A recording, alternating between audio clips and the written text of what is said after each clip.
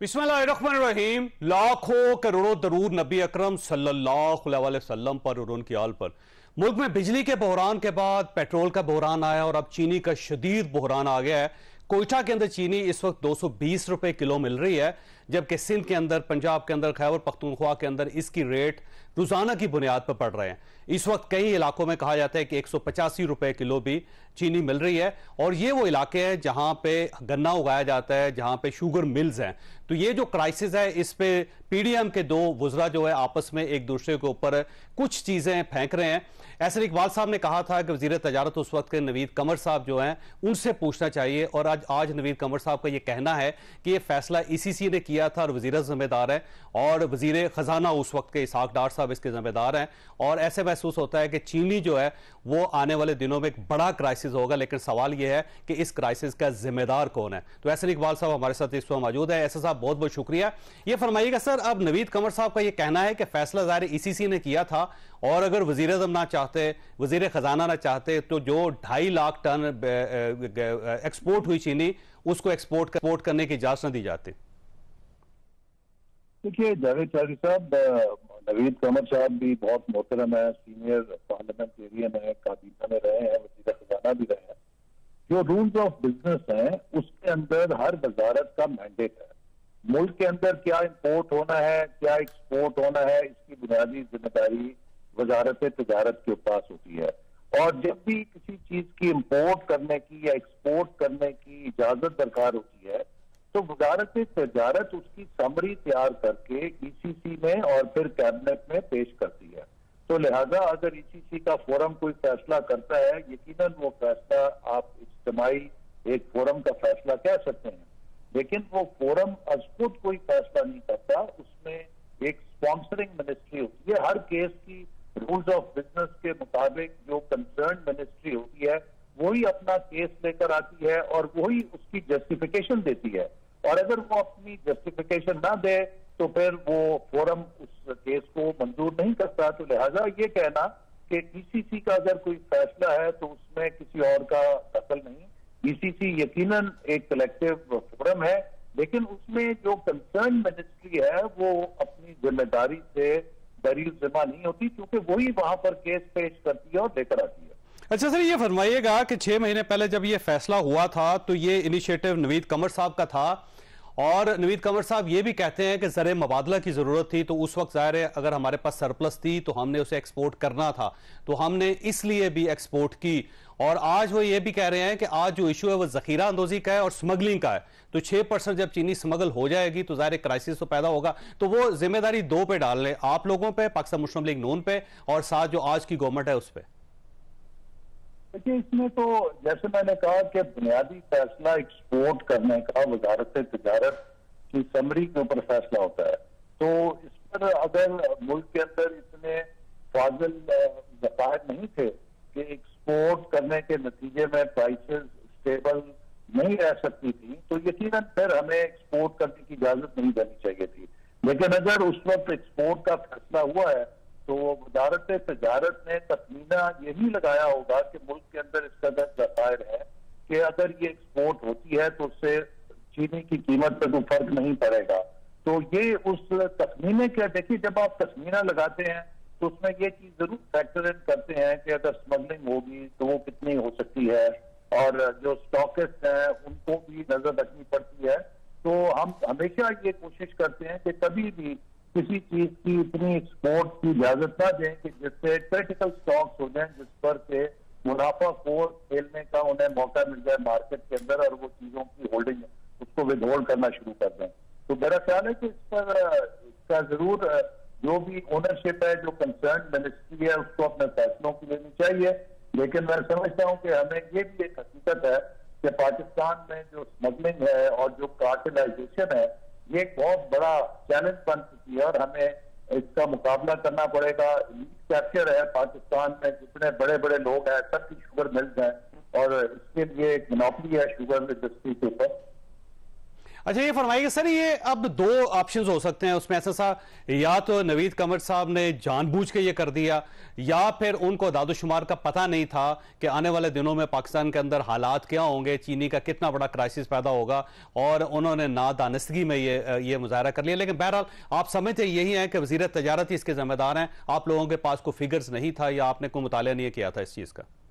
देखिए, मैंने जो बात कही वो यही है कि ये बुनियादी ज़िम्मेदारी वजारत तजारत की है कि वो मुल्क में किसी चीज़ को इम्पोर्ट करने की इजाज़त देती है और वो इम्पोर्ट करने की इजाज़त तब देती है जब वो समझती है कि हम किसी किल्लत का शिकार हो सकते हैं। और एक्सपोर्ट करने की इजाज़त भी वही देती है क्योंकि अगर वो समझती है कि हमारे पास इतनी फाजिल पैदावार है कि जिसे हम एक्सपोर्ट करके या तो जरे मुबादला कमा सकते हैं, लेकिन अपनी मुकामी मार्केट के अंदर उससे कोई डिस्टॉर्शन पैदा नहीं होगी। तो इसका जो तजिया करना, इसका तखमीना लगाना यकीन वजारत तजारत की ज़िम्मेदारी है रूल्स ऑफ़ बिज़नेस में। तो उन्हीं की सिफारिश के ऊपर ईसीसी भी इस केस को फिर मंजूर करता है या रद्द करता है। तो इसका मतलब यह कि अगर कोई अकाउंटेबिलिटी होनी है तो वो सबक वज़ीर तजारत जो है उन्हीं की हो सकती है और इसमें इसाक डार सब बरी जुम्मा है। देखिए, मैं इस पे बहस में नहीं पढ़ना चाहता, क्योंकि जब उन्होंने ये समरी अप्रूव की तो उसके बाद ईसीसी ने फैसला किया तो इसके ऊपर अगर आप नवीद कंवर साहब और साहबदार साहब का मौकफ दें तो शायद वो बेहतर बता सकते हैं। मैं तो डेवलपमेंट बजट के हवाले से अगर आपका कोई सवाल है तो उसका जवाब देने के लिए ठीक हो ऐसा साहब, आपका बहुत बहुत शुक्रिया। से यहाँ पे छोटी सी ब्रेक लेंगे और ब्रेक दो बड़े बर्निंग इश्यूज़ है पाकिस्तान में। एक तो ये कराची के अंदर और सिंध के अंदर एक बड़ा ऑपरेशन शुरू होने वाला है। उसके अंदर डेफिनेटली ये जो मोबाइल स्नैचिंग है, फिर डाके हैं पर इसके साथ साथ करप्शन से रिलेटेड चीज़ें भी हैं। तो अब, क्योंकि आर्मी चीफ दो दिन पहले कराची में गए थे, पचास ताजरों के साथ उनकी मुलाकात हुई थी, फिर लाहौर के अंदर मुलाकात हुई। दोनों जगहों पे आर्मी चीफ ने यह कहा था कि हम अनकरीब एक बड़ा ऑपरेशन लॉन्च करने वाले हैं। और उसके बाद अब जो वज़ीर दाखिला निगरान वज़ीर दाखिला सिंध है, ब्रिगेडियर हारस नवाज़ साहब उन्होंने भी ये ऐलान किया कि अनकरीब एक बड़ा ऑपरेशन हो रहा है। अब ये ऑपरेशन किस नोयत का होगा और इसका दायरा कार कितना बड़ा होगा, आज के शो में हम ये भी डिस्कस करेंगे। और इसके अलावा चौधरी परवेज लाई साहब को गिरफ़्तार कर लिया गया था, उनको बल्कि अदालत ने उनको रिहा करने का हुक्म दिया, लेकिन जब उन्हें पुलिस घर ले जा रही थी तो उन्हें रास्ते से गिरफ़्तार करके यहाँ इस्लामाबाद लाया गया और उसके बाद उन्हें अटक जेल में माबूस कर दिया गया। उस पर आज लाहौर हाई कोर्ट ने नोटिस लिया, तोहन अदालत के कुछ नोटिस भी जारी किए। लेकिन उसके बाद जिस जस्टिस साहब ने ये फैसला करना था और कल जिन्होंने पुलिस को तलब किया था, उनका तबादला हो गया। इस पर भी हम बात करेंगे, लेकिन उससे पहले छोटी सी ब्रेक लेंगे और ब्रेक के बाद दोबारा साथ इस वक्त ब्रिगेडियर हारस नवाज़ साहब मौजूद है निगरान वज़ीर दाखिला सिंध के। ब्रिगेडियर साहब आपका बहुत बहुत शुक्रिया। ये फरमाइएगा सर ये ऑपरेशन आप करना चाहते हैं ये सिर्फ़ कराची के अंदर होगा या पूरे सिंध के अंदर होगा? और ये ऑपरेशन किस किस के खिलाफ होगा? देखें चौधरी साहब बात यह है कि दो तीन हमने टारगेट रखे हैं जो अचीवेबल हो और डूएबल भी हों। नंबर थ्री वन है कि कराची में स्ट्रीट क्राइम बहुत ज़्यादा बढ़ चुके हैं। इस पे हम कंट्रोल करना चाहते हैं। नंबर टू है मुनशियात इतनी ज़्यादा नॉट हेयर पूरे सिंध के अंदर। और कराची और पूरे सिंध में इसके ऊपर हम जितने अभी नए एस पी जा रहे हैं, बड़ी क्लियर स्ट्रक्चर हम दे रहे हैं कि जी they've to go for all out crackdown और कोई बिला तफरीक हम उनको पकड़ेंगे जो बेच रहे हैं कहाँ चला रहे हैं, क्या कर रहे हैं, हर जगह पे इनको हम सेटल नहीं होने देंगे। और थर्ड इंपॉर्टेंट चीज़ जो है वो कच्चे के ऑपरेशन आपके सामने जो अभी भी कश्मीर में धरना दिया हुआ था। हमने काफ़ी उन्हें चार में से तीन को रिकवर कर लिए चार पाँच दिन के अंदर। वन लेफ़्ट वो भी आज रात को उम्मीद है कि हम उसको कर, कर कंट्रोल कर लेंगे। तो ये हमारे टारगेट हैं। सिंपल से और लेकिन इस पर कोई पोलिटिकल प्रेशर नहीं है। हमने ईमानदारी से अच्छे लोगों को लगा रहे हैं। अच्छे एस एच ओज होंगे अच्छे डी एस पी होंगे एस पी और डी ए जी इन आज कल पोस्टिंग हो जाएगी। अपनी तीन चार दिन को सेटल होने के देंगे then we will just go for all out things हमारे पास टाइम नहीं है। We want to give Karachi people very good relief के जी आपने हर हालत में आपने यहाँ के हालात ठीक करने अवाम खुशी से रात को फैमिली निकलें और जब पीक आदमियों से पुलिस नज़र आएगी हॉट स्पॉट्स पर मूव करती हुई गाड़ियों में वन फुट हर जगह पे अच्छा ये फरमाइए सर ये ऑपरेशन पुलिस करेगी रेंजर करेगी या फौज पाकिस्तान करेंगे? ये ऑपरेशन रेंज पुलिस करेगी and with the support of rangers चाहे वो कच्चे में भी यही होगा हमने इसको एक इकट्ठी फोर्स बना रहे हैं ताकि मिलजुल के काम करें। The only thing is target एक है डायरेक्शन एक है। और वो कि अवाम को अगर किसी जगह आपको अफवाज पाकिस्तान की ज़रूरत पड़ी तो आप उसमें भी उनको भी इस्तेमाल करेंगे। बिल्कुल लेकिन आई एम सर्टन कि हमारी पुलिस बहुत कॉम्पिटेंट है।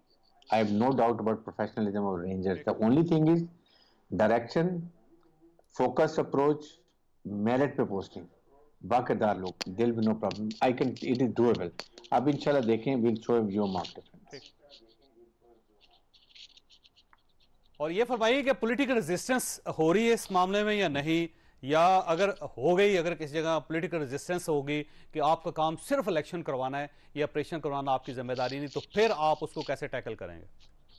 अभी तक बिल्कुल पोलिटिकल इन्फ्लुएंस प्रेशर नहीं है लेकिन आई आई एम श्योर कि जब मेन लोगों पे हाथ जाएगा जिसमें पथारीदार हैं फैसिलिटेटर्स हैं इन्फॉर्मर जो पक, पक्के के साथ कच्चे के साथ पक्के एरिया में रहते हैं वो टारगेट बताते हैं डॉकॉइट्स को और वो जाके ऑपरेशन करते हैं। अगर उनको हाथ पड़े तो हमारा प्रोग्राम ये कि साइमल्टेनियसली ऑपरेशन करेंगे। एक कच्चे के डाकुओं के खिलाफ और वो होगा टारगेटेड और intelligence based operation information foolproof will को साथ ही साथ जो इनके, ये मेन इनके जो हाथ और पाँव आँखें हैं, जो इन, जो इनके इन्फॉर्म करते हैं टारगेट देते हैं, फिर मिडल मैन का एक्शन पार्ट पार्ट करते हैं पैसे बनाते हैं, उनके खिलाफ बुलाते हो डिस्कनेक्ट करेंगे इनको डिसऑर्गेनाइज करेंगे और then we will try to achieve the result और that result which should be visible not के हम सिर्फ़ टालों में बातें करें। अवाम को रिलीफ देंगे अवाम खुद कहेंगे, इंशाल्लाह आपको मीडिया भी होगा कि उनको कितनी रिलीफ मिलने की अच्छा इसमें ब्रिगेड साहब मसला ये है कि पाकिस्तान के जो डायनामिक्स हैं उसमें जब भी कोई ऑपरेशन होता है तो ये पता चलता है कि रा, रास्ते में एक पॉलिटिकल हर्डल आ गई है। मतलब स्ट्रीट क्राइम्स हो और जितने लोग भी स्ट्रीट क्राइम में मुलवस होते हैं कहीं ना कहीं उनके किसी ना किसी मैं दोबारा खुश आमदी ये फरमाइए ब्रिगेड साहब ये जो सिस्टम चलता है करप्शन का कराची के अंदर जब तक आप उसे खत्म नहीं करेंगे कराची ठीक नहीं हो सकता तो क्या वो आपका टारगेट है या नहीं है? देखिए सिस्टम जो भी था या होगा। अब कोई सिस्टम नहीं है अब रेस्ट शोर करे। बिल्कुल। इसलिए कोई ये नहीं कह सकता कि जी सिस्टम में पैसे देने हैं हमने ये करना है हमने जो है निगरान वज़ीर दिफा ये जो है के ये जो आप कहते हैं दाखिला उसको देना है ये फलां को देना not at all we are very open like book लेकिन सर तो पहले पैसे बहुत ज़्यादा दिए जा चुके हैं कराची के अंदर। और वो आपको रिकवर करने पड़ेंगे अगर आप उनको छोड़ देते हैं तो फिर तो मामला सेटल नहीं होगा। देखिए वो अभी जो इंफॉर्मेशन अगर मिलती है they will definitely go for them उनके खिलाफ क्लिनिक केस होगा। जो पैसा रिकवर हो सकता है हुकूमत का वो वापस लिए बजाय जो इल कॉटन मनी होती है। और उसके खिलाफ कार्रवाई भी कानून के मुताबिक की जाएगी। इसको प्रॉब्लम ये है कि फिर वो लोग जी ये विक्टमाइजेशन कर रहे हैं। वी आर नॉट डूइंग जो करप्ट है वो करप्ट है। ठीक है? हमारे पास जितना टाइम है मैंडेट है जिस वक्त इलेक्शन की डेट आ जाती है then we have a different focus even then at that time we will continue working for the relief of people of Pakistan ये इंसिडेंट के लिए ऐसी बात नहीं है। अभी भी जब इलेक्शन आते हैं तो हम अपना काम करेंगे। जो मेजर हम कोई प्रोजेक्ट नहीं कर रहे हैं। ये मेजर कोई डेवलपमेंट फंड नहीं कर रहे हैं। जो ऑनगोइंग प्रोजेक्ट चल रहे हैं, जिसके लिए पैसा एलोकेटेड है वी मॉनिटर और बाकी अपना काम इंशाल्लाह ठीक करेंगे।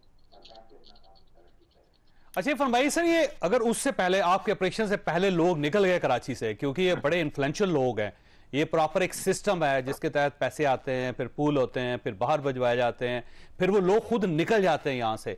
तो आपने तो स्टॉप लिस्ट में 110 लोग डाले हुए हैं, लेकिन उसमें बेशुमार निकल भी गए और बाकी निकल रहे हैं। तो आप पकड़ेंगे किसको फिर? देखिए, हमने जो डाले हैं बहुत लिमिटेड हैं, जो क्रिमिनल एक्टिविटीज़ में जिन्होंने बहुत करप्शन की है बट मेरे नहीं ख्याल कि उसमें हम पोलिटिकल कोई विक्टमाइजेशन कर रहे हैं, वो लोग जो आगे चल रहे थे, जो आगे को चला रहे थे, काम कर रहे थे करप्शन कर रहे थे लैंड ग्रैबिंग कर रहे थे, उनको we must round them up come as come इंतहा कर दिए आपकी, जो यहाँ पर आज मैंने मीटिंग किया बातगार जो हमारे बिल्डर से आए हुए थे हमारे पास देर लॉट ऑफ़ ग्रीवेंसेस एक आपकी इस बिल्डर ग्रुप के साथ कुछ सत्तर लोगों का रोज़गार, सत्तर किस्म की इंडस्ट्री लगी हुई है। वो बड़े परेशान है तो ये हम इस तरह की चीज़ें ज़रूर एड्रेस करेंगे क्योंकि अभी नए डी आई जी नए पी नए एस एच ओ नए लोग आ रहे हैं।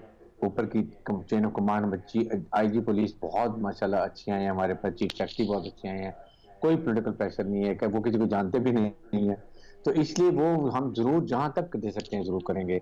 इस पर ज़ीरो टॉलरेंस है लेकिन साथ ही साथ ये जो कराची की जो बात की है कच्चे की बात की है और फिर ये जो अफगानिस की प्रॉब्लम है इसको मैं करेंगे जो रोज अफगानी झंडे चल रहे होते हैं ये हमने इसको बड़ी स्ट्रिक्शन सेक्शन की है। कोई नो वेरियन नहीं होगा। इसके लिए भी मेरे ख्याल में इमीडिएटली ऑपरेशन करेंगे और इनको भी अपनी जगह पर लाएँगे जो हमने इतनी ज़्यादा अपने लिए खुद प्रॉब्लम क्रिएट की अच्छा ये फरमाइए सर ये कुछ स्टाफ लिस्ट तैयार हुई है जिसपे ब्यूरोक्रेट्स के नाम भी हैं कुछ पॉलिटिशियंस के नाम भी हैं कुछ बिजनेसमैनों के नाम भी हैं? मेरे ख्याल में ऐसी कोई नहीं है। ये ऐसे ही ज़्यादा अफवाहें कर रही हैं कि वो क्लिप दिखा रहे हैं। इधर से पैसा रिकवर हुआ नहीं नहीं, बिल्कुल ऐसी कोई बात नहीं है। मैंने आपको पहले कहा कि ऐसी कोई बात नहीं है। हमारा अपना मैंडेट है, उसके हिसाब से चलेंगे। और वो जो भी चेक करेंगे वो नज़र आएगा। हम छुपाने की कोई ऐसी बात नहीं, क्योंकि हमने ना कोई वोट लेना है, ना हमारे पोलिटिकल एजाइम है हमने फोकस्ड अपनी अप्रोच रखनी है। पीपल शुड सी डिफरेंट कि अगर ये वी डोंट नो के कब इलेक्शन होते हैं। अभी हो जाते हैं, दो तीन, चार महीने बाद होते हैं। लोगों को इस दौरान में इतना डिफरेंस नज़र आए कि कम अज कम अगली जब हुकूमत आती है इलेक्शन से पहले तो ये अवेयरनेस आ जाए कि हमने किन को वोट देना है उनसे क्या तो हैं और फिर उनको आप अकाउंटेबल करें कि जी हाँ हमने आपको वोट दिया था अभी हम आपसे ये डिमांड करते हैं ठीक। और बगैर से ये कब ऑपरेशन शुरू हो रहा है? मेरे आई फील के ये एक दो दिन में ये चीज़ें सेटल हो जाएँ by end of this month you will see lot of things happening इंशाल्लाह और आप ये गारंटी करते हैं कि अगले इलेक्शन से पहले पहले कराची और सिंध मुकम्मल तौर पे क्लीन होगा, ना यहाँ पे क्राइम होगा और ना यहाँ पे सिस्टम होगा और ना यहाँ पे करप्शन होगी। सिस्टम गारंटेड, करप्शन की विल ट्राई। नंबर तीन, जितना भी पॉसिबल हो सके कराची को स्ट्रीट क्राइम से, मनशियात से, क्योंकि हमारी सिक्सटी फाइव परसेंट यूथ है। और आप सोचेंगे, आने वाली जनरेशन के क्या इसके कॉन्सिक्वेंसेज हो सकते हैं? कहाँ पर फैक्ट्रियाँ गुटके की कहाँ पर चीज़ें आती हैं कहाँ से ये ट्रैवल करती हैं कौन डिस्ट्रीब्यूट करता है ये हम दोनों साइमल्टेनियस एक्शन करेंगे। ताकि चाहे कच्चे का कच्चा पक्के का एरिया हो या ये ऑपरेशन सबको हम सैंडविच करेंगे ताकि किसी को भी कहीं भी सेटल होने का मौका ना मिले। That is going to be strategy we going to evolve for these operation और सिस्टम आप ब्रेक कर देंगे सिस्टम खत्म हो जाएगा।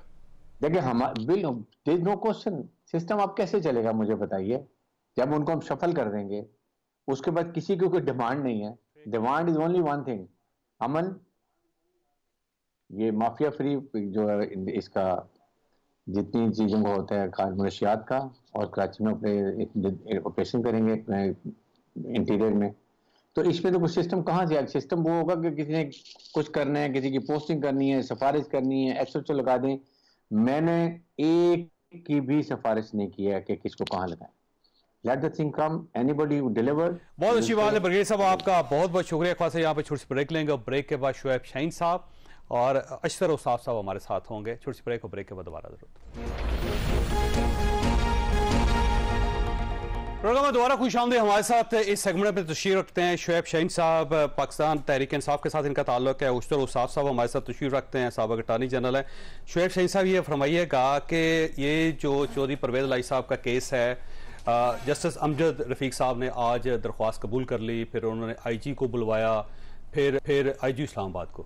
वो बुलवाया फिर दो लोगों को तोहन अदालत का नोटिस भी जारी किया। कल रिपोर्ट करनी थी लेकिन अब उनका तबादला हो गया वो मुल्तान चले गए। तो अब इस केस की हेयरिंग कैसे होगी? और चोरी परवेज लाई साहब के साथ इंसाफ हो रहा है या नहीं हो रहा? इंसाफ तो आपके सामने ही है जो कुछ हो रहा है। आज बल्कि इमरान खान और शाह कुरैशी का केस था। पिछले सैटरडे को हमने ठीक है। ढाई घंटे सिर्फ़ इस बात पे लगाया कि जनाब मेहरबानी फरमा के केस सुन लें ये आधे घंटे घंटे से ज़्यादा का केस नहीं है। जज साहब की अहलिया बीमार है तो क्या करें वो? उनको पता था उन्होंने कहा मैं हर हाल में आज नहीं सुनूँगा। हर हाल में मंडे को मैं इसको डिसाइड करूँगा। उनको पता था अगर उन्हें मंडे को नहीं आना। अच्छा आज अगर उनको मजबूरी होगी। अचानक बीमार अचानक बीमार होगी एक दिन की छुट्टी करते दो दिन की छुट्टी करते पूरे हफ़्ते की छुट्टी कर ली। पूरा हफ़्ता ही। ठीक है और जुल्म क्या है? पूरी पाकिस्तान में तमाम अदालतों का सब्सिट्यूट कोई ड्यूटी जज होते हैं। ये लॉ मिनिस्ट्री ने डेजिग्नेट किया, इसका कोई ड्यूटी जज नहीं होगा। ना उसको एडमिनिस्ट्रेटिव जज सुनेगा, ना हाई कोर्ट ने नोटिफिकेशन किया, ना लॉ मिनिस्ट्री ने किया। बहरहाल, उसी के साथ परवेज दिलाई वाला काम देख लें। जब कोर्ट ने एक फैसला वाजे कह दिया, ना एमपीओ में, ना किसी डिक्लेयर्ड या अनडिक्लेयर्ड मुकदमे में इसको गिरफ़्तार किया जाएगा। वहीं पुलिस जा रही है उनको साथ लेके। वहीं नामालूम अफराद आते हैं। वो मफलर लगाए हुए हैं और माशाल्लाह बड़े हट्टे कट्टे और तंदुरुस्त आपकी तरह मेरी तरह नहीं। वो उसको गाड़ी से निकालते हैं जिस अंदाज से उठा के ले जाते हैं। ये वही लोग हैं जिन्होंने पहले शायद खाकान अब्बासी को मोटरवे से ले लिया था राना सलाउल्ला को मोटरवे से जिस जिस को ले लिया मैं तो आपकी बात कर रहा हूँ परवेज इलाही वाली बात कर रहा हूँ। जिस जिसने किया गलत किया ना आप मुझे बता दें पुलिस उस निहत्ते नामालूम लोगों के मुकाबले में वो कहते हैं, जी, हमें पता ही नहीं वो लोग ले, उठा के ले गए। हम तो निहत्ते थे जनाब हमारे पास असला तो था लेकिन हम रोक नहीं सकते थे। सर इसमें अगर ये हालत है आपके निज़ाम में सवाल ये है कि ये वही निज़ाम अदल है जिस पे आपको एतमाद है। रोज़ाना आप कहते हैं कि अगर हमें कोई रिलीफ मिल सकता है तो उदलिया से मिल सकता है। अब अगर फ़र्ज़ करें कि एक सेशन जज है वो अगर उनकी अहलिया बीमार है वो छुट्टी पर चली गई है तो अब मुतबादल जज का फैसला अदालत ने करना है। और जस्टिस गवर्नमेंट ऑफ़ पाकिस्तान ने डेजिग्नेट करके कहा कि इसका कोई नहीं बाकी तमाम का ड्यूटी जज दे दिए। और दूसरा हाई कोर्ट ने करना था वो भी नहीं किया। देखें अब देखिए जस्टिस अमजद रफीक साहब हैं उनका तबादला अगर हुआ है तो ये भी जुडिशियल ने किया तो इसका मतलब वो जुडिशियल जिसके ऊपर आपको एतमाद है आप आपको एतमाद नहीं है मुझे ये बताएँ सारे इदारे एक्सपोज हो चुके हैं लॉ एनफोर्समेंट एजेंसीज हमारी एस्टेब्लिशमेंट सारे इदारे। अगर आपने जो आखिरी उम्मीद और होप होती है वो अदलिया से होती है। आज भी हमें अदलिया से है। अगर अदलिया अपने आप को इस तरह एक्सपोज कर देगी तो अफरा तफरी इंतशार और नारकी फैलेगी। ठीक हो ना ये मुल्कों के लिए बेहतर है ना किसी कौम के लिए बेहतर है ना किसी एक इदारे के लिए बेहतर है। आज भी अगर अदलिया इस तरह अपने आप को एक्सपोज करके चले इंसाफ का कत्ल होता तो होगा मतलब ये हुआ इंसाफ का कत्ल आँखों के सामने तो जहाँ पे आपको फ़ायदा नज़र नहीं आता वहाँ पे अदलिया ठीक काम नहीं कर रही। जहाँ पे फ़ायदा होता है वहाँ पे अदलिया बात नहीं है। मुझे ये बता दें हाई कोर्ट एक ऑर्डर करती है। क्या उस आर्डर की इस तरह बेतौखीरी और तोहीन क्या हम इदारों को कह देंगे? लॉ इन्फोर्समेंट एजेंसीज को कह देंगे तो इस तरह करें। अगर कोई चीज़ थी मुझे बताएँ पिछले छह महीने से वो चार महीने से जेलों में बंद है। यहाँ आईजी इस्लामाबाद को किसने कह दिया कि यहाँ नक्श अमन का खतरा है? कोई मुकदमा नहीं है? इसको रिपोर्ट मिली कि इस्लामाबाद में आकर अगर वो वहाँ रिलीज़ हो गया इस्लामाबाद में आकर अमन को नुकसान पहुंचाएगा। उससे साहब साहब आपकी आपकी तरफ़ आओगे ये फरमाइए सर ये पीटीआई को एतराज़ है कि अदालतें इनके साथ इंसाफ नहीं कर रही। बाजुकात उनको महसूस होता है कि बड़ी ज़बरदस्त अदालतें और बाजुकात महसूस होता है कि सही अदालतें इंसाफ नहीं कर रही। तो होना क्या चाहिए सर? मुझे बताइए कौन अदालतों से खुश है? कुछ अर्सा पहले मोहतरम काजी फाइज साहब एक सेमिनार में बैठे हुए थे। उन्होंने ये सवाल पूछा कि आप हमारी कारकर्दगी से खुश हैं? अगर कोई हैं तो हाथ खड़ा करें। किसी ने हाथ नहीं खड़ा किया। एक लम्हा अलमिया है। ये तकलीफ़ दह बात है। शुएब शाहीन साहब और मैं इसी इदारे से मुंसलक हैं। याद रखिए कि वकील और जज वो एक ही इदारे के हिस्सा है। और हम दोनों अलग अलग से नहीं हो सकते। ये सारा का सारा निज़ाम अदल और जो निज़ाम जस्टिस सिस्टम है, ये इन दोनों के साथ ही चलता है। और हमने ये चीज़ आज की नहीं, परसीव की, ये बात अरसे से चल रही है। और बतदरीज हर जो इंस्टीट्यूशन है, हर इदारा जो है, उसकी तहकीर भी की जा रही है और बेतौकीरी भी की जा रही है। अब क्या पैगाम दे रहे हैं सब लोगों को? कि क्या ये एक ऐसा मुल्क है जिसमें ना बिजली बनाने वाले कारखाने सही तरीके से काम कर सकते हैं, ना इसमें फर्टिलाइज़र वाले कारखाने ठीक काम करते हैं, ना ब्यूरोक्रेट आप ब्यूरोक्रेट्स को तीन तीन, चार चार साल के लिए जेल में डाल देते हैं बगैर ट्रायल के। आप मतून करते हैं जनरल्स को, आप उनको बुरा भला कहते हैं, आप मिलिट्री इंस्टॉलेशन के ऊपर हमला करते हैं, आप शुदा के जो जो यादगारें हैं उनको डेसिक्रेट करते हैं। ये क्या हो रहा है? ये तो मुझे लग रहा है कि एक जानबूझ के एक ऐसी फिजा कायम की जा रही है जिसमें ये कहा जा सके कि जनाब इस मुल्क में शायद पार्लियामेंट्री डेमोक्रेसी का कोई किसी किस्म का भी रोल नहीं होना चाहिए। अच्छा वैसे साहब ये फरमाइए ये जो चौधरी परवेज लाई साहब का केस है ना सर ये बड़ा जैसे दिलचस्प सा केस है। कि चार महीने से वो जेल में थे, उनको जस्टिस साहब ने बार बार बुलवाया, फिर उसके बाद नैब को अहकाम जारी किए, फिर एंटी करप्शन को अहकाम जारी किए, फिर पुलिस स्क्वाड में उन्हें घर भेजा और घर के करीब से उन्हें दोबारा गिरफ़्तार कर लिया गया। फिर इस्लामाबाद के अंदर ले जाया गया, फिर अटक जेल भेज दिया गया और फिर जज साहब जिन्होंने इसका नोटिस लिया और कल उन्होंने तलब किया सबको और उनका तबादला हो गया। तो ये सारा जो सिस्टम आपके सामने है, इसको क्या समझा जाए? और ये समझा जाए चौधरी साहब के साथ ज़्यादा हो रही है या चौधरी साहब ज़्यादा कर रहे हैं? वे आउट क्या हो सकता है इसका? देखिए, इसी तरह का एक मामला था और बड़ी ये एक मैं इसको दिलचस्प नहीं कहूँगा, एक अलमिया की और तकलीफ़ दे बात है कि 1976 में 47 इयर्स पहले एक मुकदमा सुप्रीम कोर्ट में चला। हाई कोर्ट से वो मुकदमा सुप्रीम कोर्ट गया। उसका अनुमान है मंजूर इलाही। मंजूर इलाही परवेज इलाही के मेरा ख्याल है वालिद है। और केस था पर जहूर इलाही साहब की बाजियाबी का। वो भी कुछ ऐसा ही था और यहीं से इसी सड़क से उनको उठाया गया था। और नहीं मेरा ख्याल गुजरात से उठाया गया था उन्हें। और वहाँ से उनको मेरे ख्याल है बलूचिस्तान या मच जेल में इसी जगह पे लेके गए थे वो मच जेल बलूचिस्तान में और वहाँ पे भी यही कुछ सूरत हाल और ये जुल्फकार भुट्टो साहब का दौर था सर। आपको याद हो हाँ फोर्टी जी बिल्कुल मुझे याद है। ये फोर्टी सेवन सैतालीस सालों में हमने कुछ नहीं सीखा। ये सब वही बाजगश्त जिसको अंग्रेज़ी में देजावू है। वही मुझे सुनाई दे रही है। और ये एक ऐसी सिचुएशन बन गई हुई है जो कि टेनेबल नहीं है। इसको आ, आ, अगर हमने अभी अरेस्ट ना किया अभी इसको ठीक ना किया तो बहुत गड़बड़ हो जाएगी बहुत ज़्यादा गड़बड़ हो जाएगी। और मुझे याद पड़ता है कि बहुत सारे हाईकोर्ट के जजेस के बेंचेस तोड़ दिए जाते थे पीटीआई के दौर में जब समात हो रही होती थी आ, शरीफ खानदान के लोगों की या ब्यूरोक्रेट्स की फवाद हसन, फवाद का केस आपके सामने है कई बार वो इसलिए मुलतवी हुआ क्योंकि जज अवेलेबल नहीं थे। तो ये सब कुछ सिलसिला कोई नया नहीं है। ये चल रहा है लेकिन बुरे काम का रेपुटेशन और भी बुरा होता है। ये काम खत्म होना चाहिए। बिल्कुल सही बात। अच्छा ये फरमाइए शुएब साहब कि आपके इमरान खान साहब से मुलाकात हुई जेल में तो ये एक जो नई कंट्रोवर्सी डेवलप हो गई है कि वो अब मुजाकरात करना चाहते हैं सब के साथ मुजाकरात करना चाहते हैं, और शायद आपके दोस्त आपके साथ गए थे, बैरिस्टर गौर साहब, वो ये मैसेज लेकर बाहर निकले। तो उन्होंने वाकई कहा था, मैं मुजाकरात के लिए तैयार हूँ नहीं, जिस कंटेक्स में बात हुई, शायद विदाउट कंटेक्स बात हुई है। कंटेक्स में ये हुआ कि इस वक्त जिस तरह के बिल्स आए हैं बिजली के, जिस तरह की गुर्बत है, जिस तरह की बेरोज़गारी है, जिस तरह लोग सरापा एहतजाज हैं तो इसका हल क्या है? भाई, इसका हल सिर्फ़ एक है कि आप फ्री एंड फेयर इलेक्शंस कराएँ। और उसके लिए 90 डेज़ एक मियाद मुकर है। उसके अलावा कोई ऑप्शन नहीं। 90 डेज़ के इलेक्शन के इनका फ्री एंड फेयर इलेक्शन कराने के लिए जिसके ऊपर सबका ट्रस्ट हो लेवल प्लेइंग फ़ील्ड हो उसके लिए हम हर एक से बात करने को तैयार हैं। हर एक से मतलब मियाँ नवाशी से बात करने के लिए तैयार है। तमाम पोलिटिकल पार्टी वैसे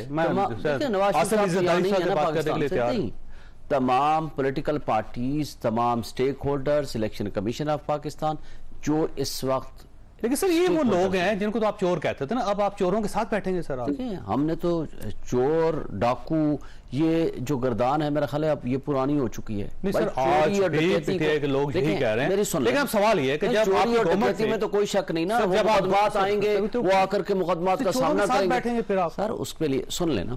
पिछले साल उसका कंटेक्स्ट है। पिछले साल उन्होंने खुद कहा कि नवंबर में मैंने ऑफ़र की थी। आपकी ऑफ़र थी कि हम तमाम इलेक्शन इकट्ठे कराएँगे। मैंने कहा जी एक महीने बाद मैं असम्बलियाँ डिजोल्व करूँगा पंजाब और केपी की। आए मेरे साथ इसके लिए डेट पे फाइनलाइज करें कि कौन सी डेट आपको चाहिए। अब देखिए मैं सुन सुन लेना उसी की उसी की एक्सटेंशन है? उसी पॉइंट ऑफ़ व्यू सवाल ये है कि जब आप गवर्नमेंट में थे तो आपने लोगों से हाथ मिलाने से इनकार कर दिया था मुल्क के लिए भी। इवन जब इंडिया और पाकिस्तान की जंग बैठे। सर इंडिया और पाकिस्तान जो इमरान खान पिशावर का जो मामला था सर वो 2014 की बात है सर। इकट्ठे बैठे थे। 2014 की मैं किताब की बात थ्रू आउट सारे सर जब प्राइम मिनिस्टर थे इमरान खान साहब उस वक्त बड़े बड़े क्राइसिस आए थे पाकिस्तान में लेकिन उन्होंने संभाले ना। इनसे हाथ नहीं मिलाया था संभाला ना मुल्क को तो संभाला। आज जब आपको ज़रूरत है तो आप कह रहे हैं कि आप हाथ मिला लेंगे इनसे। ना मिलाए हम तो नहीं कहा हम तो आपकी तरफ़ से ऑफ़र आई। भाई हम मुल्क का रोड मैप दे रहे हैं मुझे बता दें तो उस वक्त मुल्क को आपकी ज़रूरत थी तो उस वक्त तो नहीं हमारी ज़रूरत हमें भी आज इनकी नहीं है? हमने तो कह दिया है कि भाई हमें हज़ार साल भी अगर रहना पड़े हम रहने को तैयार हैं और हम डील नहीं करेंगे। जिन लोगों के करप्शन के पैसे बाहर पड़े होते हैं वो जाते हैं मुल्क से बाहर डीलें करके। हमारा ऐसा इससे कोई ताल्लुक नहीं है। सिर्फ़ एक बात इस वक्त पाकिस्तान को अगर बचाना है तो एक ही ऑप्शन है फ्री एंड फेयर इलेक्शन कराने के लिए और हम हर किसी से बात करने को तैयार हैं और जबर और खौफ की फिजा खत्म करें जिसके इलेक्शन के ऊपर क्रेडिबिलिटी हो। सारी पार्टियाँ उसको एग्री करें लेवल प्लेइंग फ़ील्ड दें इलेक्शन कराएँ जिसको स्ट्रांग इंडिपेंडेंट उससे ये फरमाइएगा सर ये ये अगर इमरान खान साहब की तरफ़ से अगर ऑफ़र है तो मेरा ख्याल है अपोजिशन को या पीडीएम को इसे रिजेक्ट नहीं करना चाहिए। बड़ा अच्छा ऑप्शन है इसे ले लेना चाहिए आपको। कौन सी ऑपोजिशन जी और किस तरह की ये बात कर रहे हैं? कौन सी, ये this is an NRO that he is asking for कि मुझे यहाँ से किसी तरीके से आप निकाल दें। अगर हज़ार साल रहना चाहते हैं तो जमानत की दरखास्तें क्यों देते हैं? फिर ये सारी चीज़ें क्यों हो रही हैं? मैं एक छोटी सी बात करना चाहूँगा आपके साथ, आपके तवासत से। आप इलेक्शंस की तरफ़ जा रहे हैं, बहुत अच्छी बात है इलेक्शंस होने चाहिए और वक्त मुकर्रा पे होने चाहिए। लेकिन आपका उस मैनिफेस्टो क्या है? आपका रोड मैप क्या है? आपने दिया क्या इस मुल्क को अभी तक? आपने तो मुल्कों के साथ ताल्लुक खराब किए हैं। आपने तो इदारों को तबाह किया है। अपने इदारों के ऊपर इस तरीके से जबर किया और आपने जो जो फिजा आपने कायम की, जर्नलिस्ट को जिस तरीके से हैरस किया गया जिस तरीके से ये सारे सिलसिले हुए। ये क- क- कौम क्या भूल जाएगी इन बातों को? मैं तो नहीं भूला ये बातें।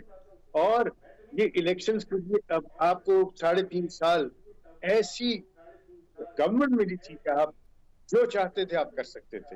लेकिन आपने क्या किया? आपने क्या आईपीपी के साथ कुछ बैठ के किया? आपने कोई कारखाने लगवाए? आपने कोई अ, ए, एक मेगावाट जो है 148 रुपीस पर डॉलर को हमने कैप किया। आप तो तबाह बर्बाद करके गए आपकी पीपल्स पार्टी और आपके मुस्लिम लीग नून वाले जो आप कह रहे हैं बिजली खरीदें या ना खरीदें आपको हर हाल में पैसे देने पड़ेंगे। आप- आप और डॉलर के साथ मुझे बताएँ तो मुल्क के जिस हालत में हमने कहा तो। सुन लेना ठीक है जो इन्होंने जुल्म किया है पब्लिक फैसला करेगी ना। ये अशतर साहब साहब ने शोएब शाहीन ने जावेद चौधरी ने फैसला नहीं करना। नहीं, अदालत जो इन्होंने फैसला करना है पब्लिक ने इस वक्त करना है कि किसको वोट देना है। क्या आप इलेक्शन ही नहीं कराएँगे? 6.1 परसेंट जीडीपी छोड़ के गए। आज आप ज़ीरो परसेंट पे आ गए। आपके आदाद कहते हैं ज़ीरो पॉइंट थ्री परसेंट। आप कहते थे सुन लेना आप कहते थे कि चीनी चोर जनाब जहांगीर तरीन एफ़ आई ए ने इंक्वायरी की उसको साइडलाइन कराया गया। आज वो आपके साथ बैठे हैं। आज आपने मुझे बताएँ आप इंपोर्ट कर रहे हैं दो सौ बीस रुपए की चीनी। एक्सपोर्ट आपने इजाज़त दे दी 110 रुपए की। आपने क्यों एक्सपोर्ट की इजाज़त दी? इन हालात में दो दो सौ रुपए तक चीनी का रेट पहुँच तो गया। ये, ये जुल्म आपके नहीं दौर में भी यही हुआ था। आपको नहीं याद हमारे दौर में हुआ तो हमने उस पर इंक्वायरी कराई ना। वो सवा सौ रुपए। साहब, हमने इंक्वायरी कराई एक बंदा गिरफ़्तार किया आपने। जो भी कानून एक के मुताबिक देखें एक गिरफ़्तार किया देखें जो इंक्वायरी पे उल्टा पैसा जाया कर दिया आपने शोएब क्यों पैसा जाए कम से कम लोग तो आपके तो सामने आए। गिरफ़्तार कर लेते आप। भाई लोग तो आपके सामने आए उनके खिलाफ जो एक्शन छह बंदे आपकी कैबिनेट में बैठे हुए उस देखें जो लोग जहांगीर तरीन था ना सिर्फ़ जिसके ऊपर गालियाँ देते थे जहांगीर सारे। तरीन तो बाहर था ना उस वक्त था ही नहीं। आपकी कैबिनेट के अंदर लोग बैठे हुए थे। जो लोग थे अच्छा मुझे बताएँ। जो लोग मुलव्वस थे इंक्वायरी रिपोर्ट्स के मुताबिक प्रोसीड करें ना। तो सर कैबिनेट के लोगों को तो निकाल देते आप। सुन उनको तो गिरफ़्तार कर मुझे ये बताएँ कि आज 180 या 200 रुपए पे चली गई है। कौन जिम्मेदार है। क्वेश्चन ये है उससे आप बात मुकम्मल कीजिए वक्त खत्म हो रहा है। जी इसका मतलब ये हुआ और कि मुज़ाकरात हमने नहीं 24 सकते। बिलियन डॉलर को हमने रिज़र्व पहुँचाया आज चार बिलियन डॉलर ये मांगे तांगे के। महँगाई उस वक्त का जी, उससे- 12 उससे परसेंट कहते थे आज। आपका 38 परसेंट से भी ऊपर चला गया। साहब मैं कर रहा था जी। सर इसका मतलब मुज़ाकरात नहीं हो सकता। अच्छा अच्छा। देखिए मुजाकरात फ्री एंड फेयर इलेक्शन के लिए हर एक के साथ करने को तैयार है। जी अच्छे साहब अच्छे साहब। आपके पास देने को क्या है? आप क्या देने चाहते हैं? आप किस चीज़ के ऊपर मुजाकरात करना चाहते हैं? क्या कि केसेस को वापस ले लिया जाए? इस पे मुजाकरात हैं। क्या केसेस खत्म कर दिए जाए? ये मुजाकरात हैं।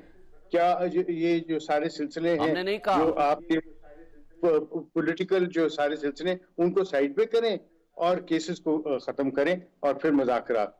देखिए संजीदगी की बात क्या है? संजीदगी से जो काम करने वाला है वो ये है कि आप सारी जमातें अपना अपना मैनिफेस्टो दें रोड मैप दें और बताए लोगों को ज़बरदस्त वैसे ऐसे साहब मैं आपसे भी इतफाक करता हूँ शेख साहब आपसे भी मैं इतफाक करता हूँ कि इसमें कोई शक नहीं कि मुजाकरात के अलावा कोई वे आउट नहीं होता। अल्टीमेटली आप सबको इकट्ठा बैठना पड़ेगा। अल्लाह ताला आप और आपके अहल खाना को हर किसी मुसीबत से महफूज रखे। अल्लाह हाफिज़।